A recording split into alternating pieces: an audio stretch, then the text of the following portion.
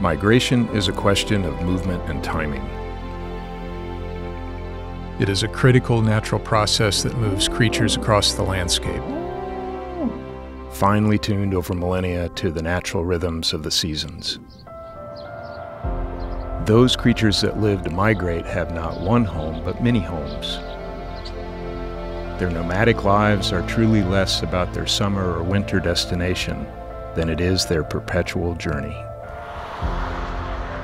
Migration is and always will be risky, fraught by dangers of extreme weather events, lack of food or water, abundance of predators, and that burning feeling of age knowing that one day they will no longer keep up.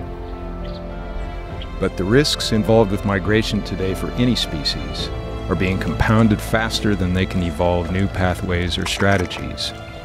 There's less habitat, more development, greater distances between those habitats, light pollution, busy roadways, more fences, polluted waters, drained wetlands, plowed grasslands, dams, clear cut forests, and climate change.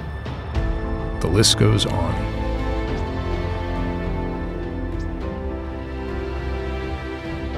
If you are a pollinator that moves seasonally from field to field, a pronghorn that moves overland from mountains to plains, or bird that flies across an entire continent, you are in increasing peril. But there are also people making a life with the land and its wild citizens, battling those perils with hope. What we do next will define who we are what kind of world we will live in, and who we will share it with.